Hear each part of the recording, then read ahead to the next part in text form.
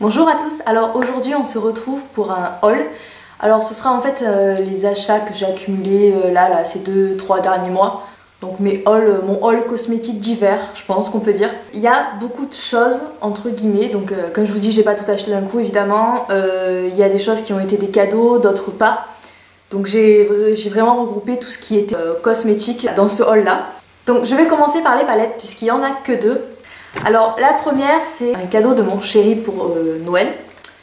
Et c'est la Everything Nice de Too Faced. Donc euh, je la mets maintenant et ça a été la croix et la bannière cette palette. Ne soyez, franchement ne soyez pas déçus si vous l'avez pas parce que j'ai dû tourner dans 5-6 Sephora à la fois pour la trouver, pour l'avoir, pour la réserver, euh, bref en fait, cette palette-là, elle arrive en édition hyper limitée dans chaque Sephora. Les vendeuses se servent et puis après, il n'y en a plus pour les clients. Donc, euh, c'est-à-dire que le jour de la mise en vente, il, doit y en avoir une euh, sans compter le testeur, quoi. Voilà. Euh, voilà, elle est super difficile à trouver, mais bon, j'ai réussi à l'avoir. Je touche du bois, j'ai réussi à l'avoir. Elle est quand même super jolie. Donc, c'est une palette ultra complète. Il y a des couleurs colorées, il y a des couleurs beaucoup plus neutres. C'est une palette qui tourne vers les froids et j'apprécie parce que c'est plus ce que je mets moi, c'est plus mes préférences. Euh, il y a ce blush là qui est le Papa Don't Peach qui est un blush mais canon, mais vraiment canon. Euh, L'highlighter est vraiment beau, le chocolate bronzer c'est celui que j'utilise tout, le temps donc je suis bien contente de l'avoir euh, en backup. Il venait avec des petits pinceaux mais bon ça, la palette en elle-même est hyper girly, hyper mignonne. Donc comme je vous le dis je vous la trouvais plus.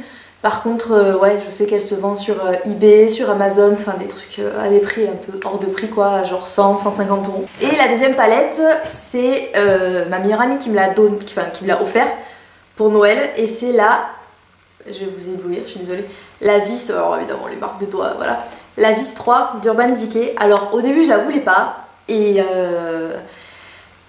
et je voyais ma meilleure amie apporter, enfin je voyais ma meilleure amie qui se maquillait avec et à chaque fois je lui disais putain mais t'as quoi sur les yeux, t'as quoi sur les yeux? Et en fait à chaque fois elle me disait bah, c'est la vie, c'est toujours pareil en fait. Euh. Et donc bref, et j'ai attendu, j'ai attendu, j'ai attendu, euh, quand je suis allée sur le site elle était épuisée évidemment, donc je me suis dit bon bah tant pis, parce que c'est vrai que la 1 et la 2 je les, utilise, je les utilise pas des masses, donc je me suis dit ça sert à rien d'avoir la 3 et c'est vrai que j'ai regretté au final mais bon je me suis dit tant pis, c'est voilà, c'est pas grave. Et en fait elle me l'a offert à Noël, donc il y a un immense miroir et les couleurs sont comme ceci. Je me suis maquillée avec encore aujourd'hui, je fais que la mettre. Euh, ces trois couleurs sont, enfin toute cette rangée là est canonissime. Euh, cette rangée là aussi. Ce bleu pour faire ressortir en petites touches dans le coin externe, ça fait ressortir les yeux, euh, les yeux marrons, mais un truc de fou. Vraiment, vraiment, ça fait vraiment énormément ressortir les yeux marrons. Et voilà, il y a un blanc pailleté super joli. Enfin, vraiment, cette palette, je l'adore, je l'adore, je l'adore. J'utilise pratiquement tous les jours dessus. Donc, je suis super contente de l'avoir. Ensuite, j'ai des produits teints à vous présenter. Donc j'ai trois fonds de teint à vous présenter. Alors oui, vous savez, je viens de vous faire la revue sur les fonds de teint, j'en avais pas assez, vous avez bien vu. Euh, celle-ci, elle était dans la revue. Je vous la posterai, je posterai la partie sur les CC crème et tout ça après ça, donc vous l'avez vous l'avez pas encore vu. C'est la bébé crème de chez Yves Rocher, qui est euh, une horreur. Euh, clairement, euh, si vous avez euh, une quinzaine d'euros à mettre, ne la mettez pas là-dedans, prenez la CC crème de bourgeois. C'est pas possible. ça fait des peluches, enfin bref, c'est une catastrophe. Je m'étends pas dessus parce que j'en parle dans la revue des fonds de teint. Mais voilà, ça c'est un flop. J'ai commandé, je mourrais d'envie de tester ce fond de teint en fait parce que je regarde beaucoup de canadiennes et là-bas la marque Covergirl, c'est une marque de pharmacie, ils appellent ça, c'est une marque en fait qu'on trouve dans les grandes surfaces. c'est vraiment pas cher et le fond de teint avait l'air super et en fait c'est le Outlast Fabulous. Outlast Stay Fabulous, 3 en 1, bref, euh, il y a des noms beaucoup plus courts. Donc je vous le montre, c'est celui-ci. Donc je l'ai commandé sur Amazon pour celles qui demandent. Alors il n'est pas donné sur Amazon. En fait le coût de livraison pour la France est énorme. Et ça partout, hein. sur eBay, sur Amazon, j'ai fait un peu le tour, euh, c'est énorme partout, donc c'est dommage, mais bon, c'est vrai que je le voulais vraiment. Il coûte une, entre 20 et 25 euros selon si vous avez de la chance ou pas. Euh, c'est un coût. Mais voilà, comme je vous dis, je voulais trop le tester, donc euh, je me suis dit allez. Il est génialissime. Alors je regrette vraiment qu'on puisse pas trouver la marque Covergirl euh, facilement en France. C'est vraiment dommage. Mais alors, il est génial. C'est hyper couvrant.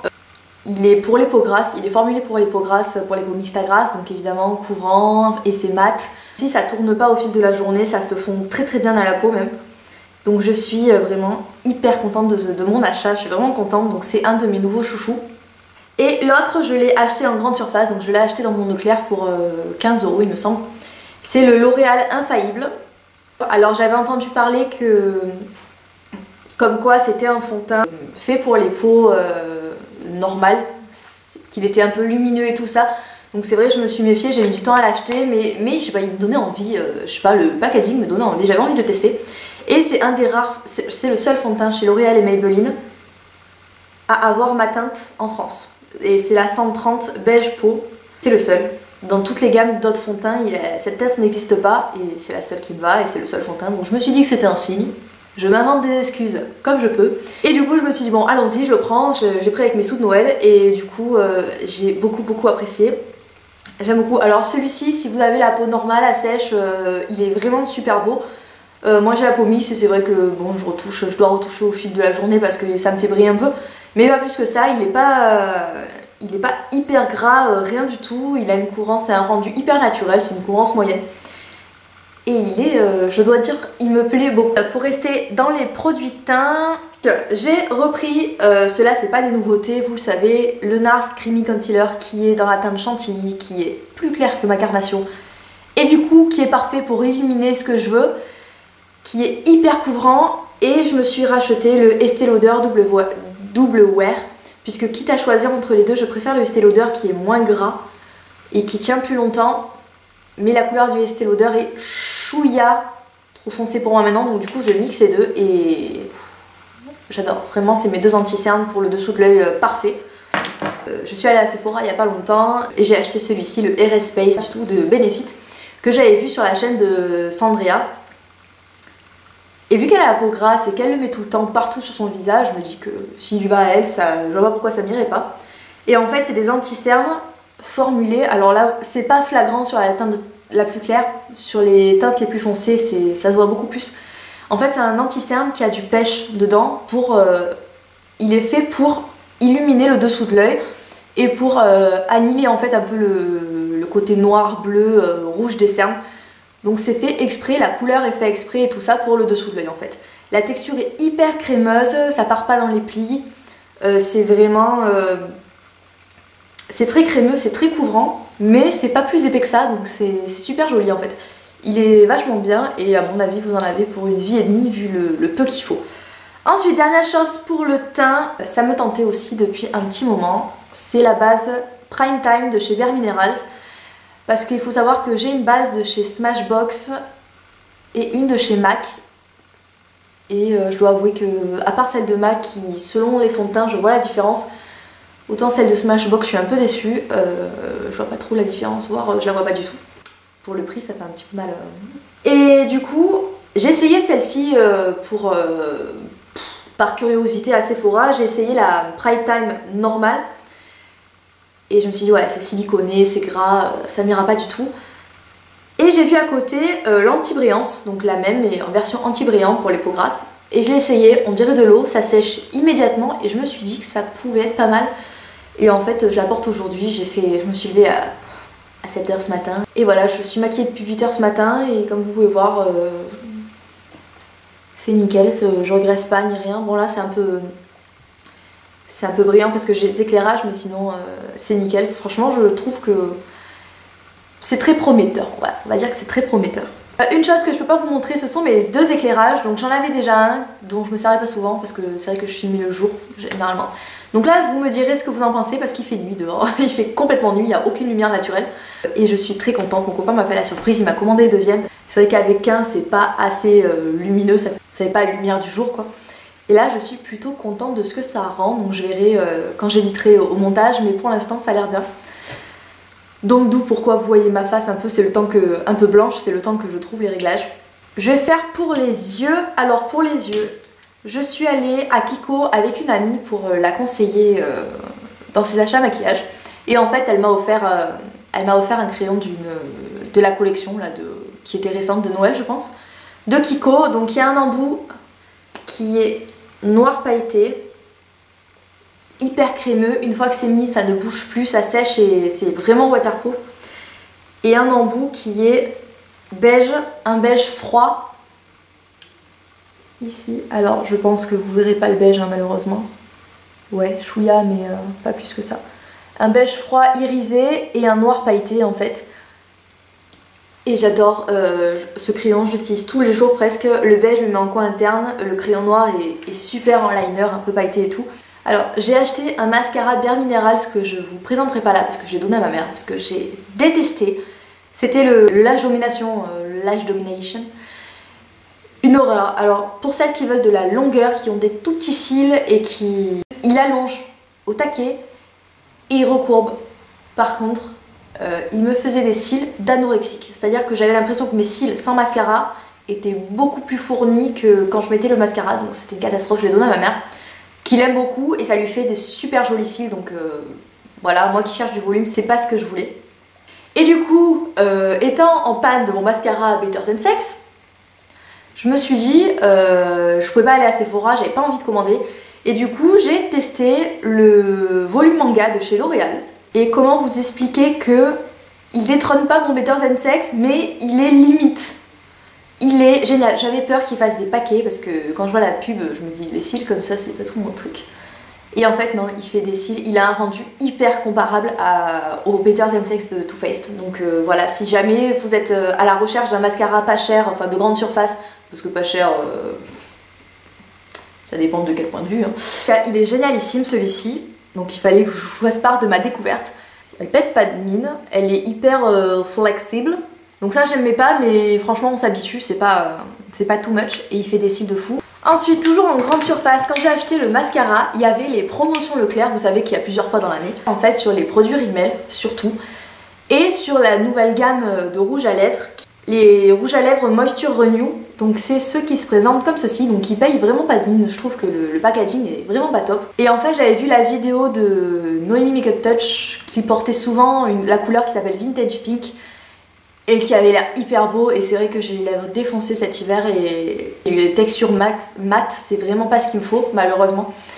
Et donc ça qui sont faits pour euh, être hyper hydratants, brillants, euh, voilà je me suis dit pourquoi pas, ils étaient à, ils étaient à, un prix dérisoire, ils étaient à 3 euros je crois. Donc je me suis dit, j'ai pris toutes les couleurs qui m'intéressaient, donc j'en ai pris 4. Donc j'ai pris la couleur Vintage Pink, qui est une sorte de violet bois de rose. Alors, sur la vignette, vous croyez que c'est un bois de rose, mais pas du tout. Hein. C'est pas du tout un bois de rose, clairement. Il tourne vraiment vers le violet. Hein. Je sais pas si vous vous rendrez compte, je vais vous faire un swatch. Donc voilà, c'est vraiment une couleur un peu, un, peu, un peu violette mais qui est super jolie, qui est hyper brillant. Euh, voilà, donc ça c'est le Vintage Pink, c'est le 180. J'ai pris le As You Want Victoria. Alors, c'est le 360, c'est une couleur, c'est un framboise. Il est vraiment canon celui-ci, euh, et je vous montre. C'est hyper pigmenté quoi. mon swatch ressemble à une grosse daube, mais euh, c'est pas grave, c'est pas grave. Donc c'est le As You Want Victoria qui est une sorte entre le rose et le rouge. Et il est super joli, super crémeux, ça fait une bouche comme ça, tellement ça brille de partout. Par contre, autant pour les couleurs claires, il n'y a pas besoin, c'est pas grave, ça vous fait vraiment, vous pouvez le mettre à la rage justement, c'est ça qui est bien.